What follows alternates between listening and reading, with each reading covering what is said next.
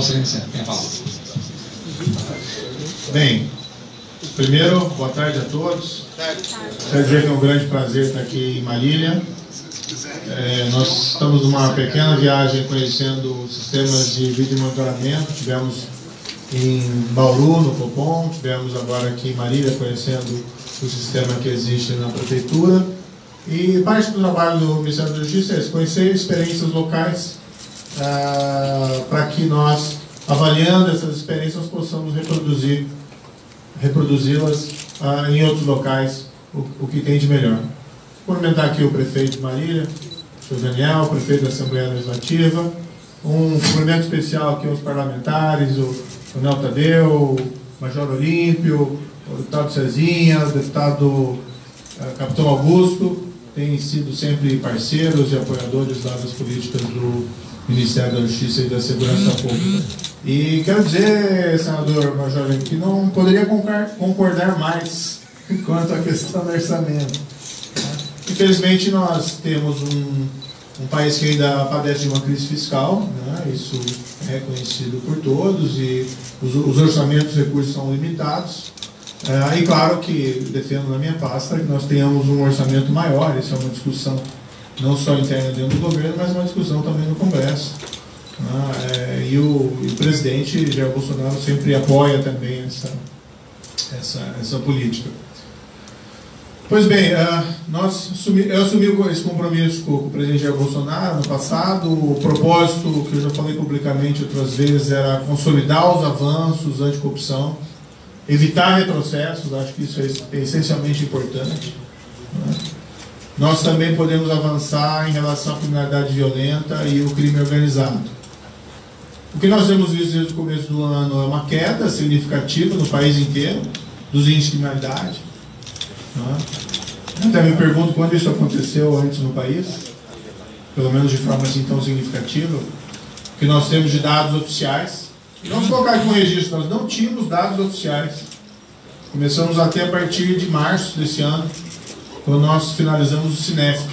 É um sistema que já vinha dos governos anteriores, mas nós finalizamos.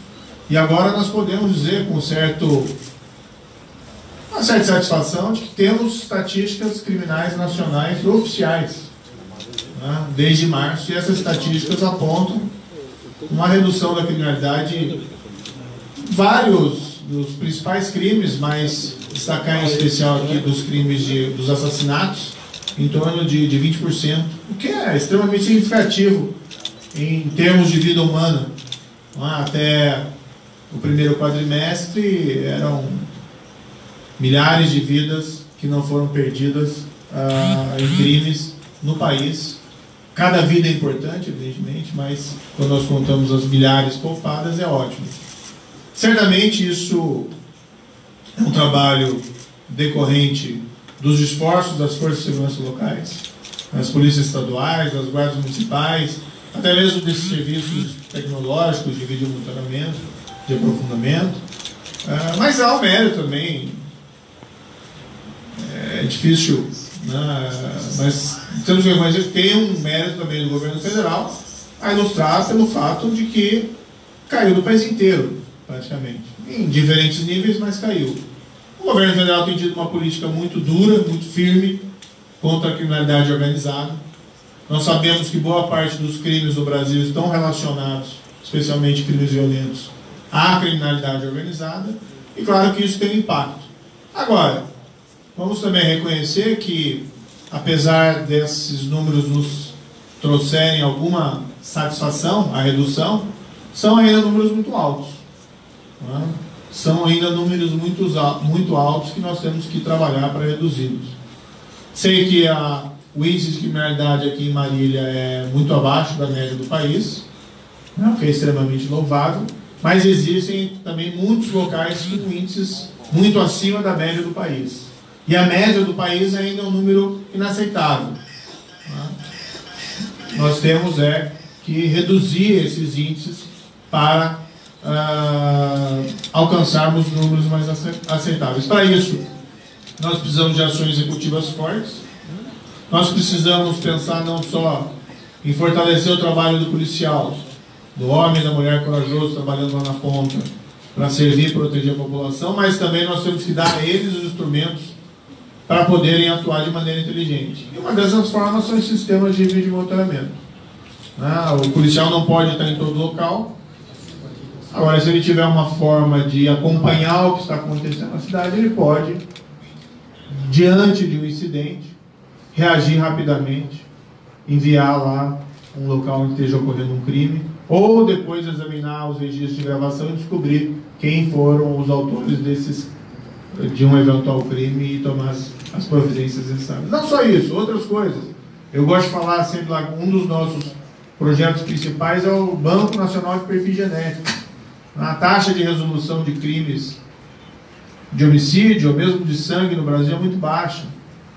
Por que isso? Porque às vezes faltam instrumentos, falta treinamento, falta. É, nós vemos nesses filmes, né? Parece que é ficção, mas é realidade.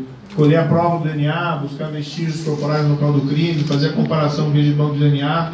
Nós temos um banco de DNA que foi criado em 2013 e ficou esquecido pelos governos anteriores.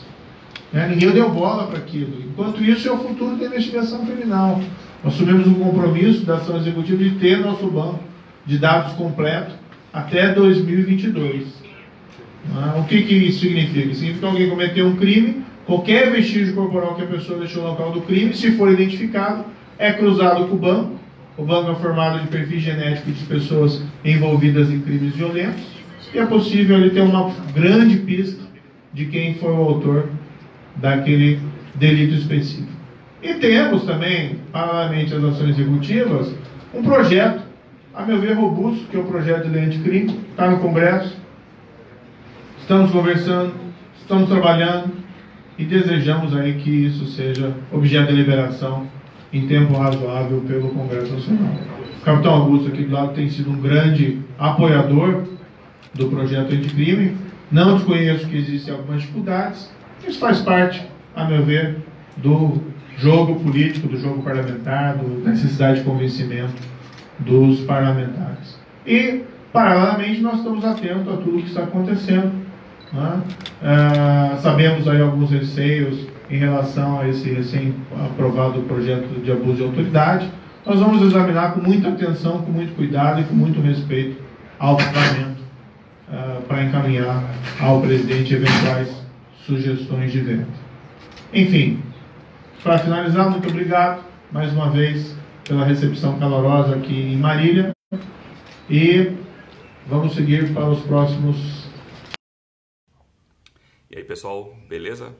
Sou Rodrigo Lima, jornalista. Gostaram do vídeo? Então agora chegou a hora da gente opinar. O que você achou do conteúdo do vídeo? Você é a favor, contra?